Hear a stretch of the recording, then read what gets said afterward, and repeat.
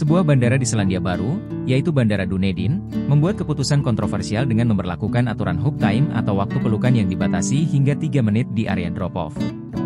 Langkah ini diumumkan pada akhir September lalu, dengan tujuan untuk meningkatkan keamanan dan kelancaran arus lalu lintas. Kebijakan ini memicu reaksi beragam dari masyarakat, terutama pengguna media sosial.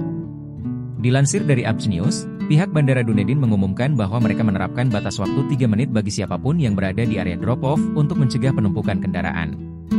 Pada papan pengumuman di area tersebut tertulis jelas, waktu pelukan maksimal 3 menit. Untuk perpisahan yang lebih lama, gunakan area parkir. Tindakan ini didasarkan pada alasan keselamatan dan kenyamanan, karena area drop-off bandara sering kali dipenuhi kendaraan yang berhenti lama akibat perpisahan emosional. Daniel De Bono, CEO Bandara Dunedin, dalam wawancara dengan Radio New Zealand menyebutkan bahwa papan pengumuman tersebut menimbulkan banyak perbincangan di kalangan masyarakat. Pengguna media sosial memberikan berbagai respons terhadap aturan hook time ini. Sementara itu, di TikTok, beberapa orang mempertanyakan pentingnya pembatasan ini. Menurut De Bono, pesan dari aturan ini sebenarnya berfungsi sebagai pengingat untuk mengatur keramaian di area drop-off.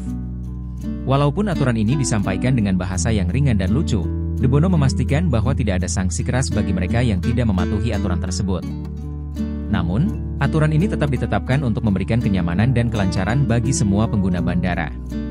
Pihak bandara berharap, dengan adanya batas waktu pelukan, lalu lintas di area drop-off dapat lebih tertata tanpa memerlukan pendekatan yang lebih tegas.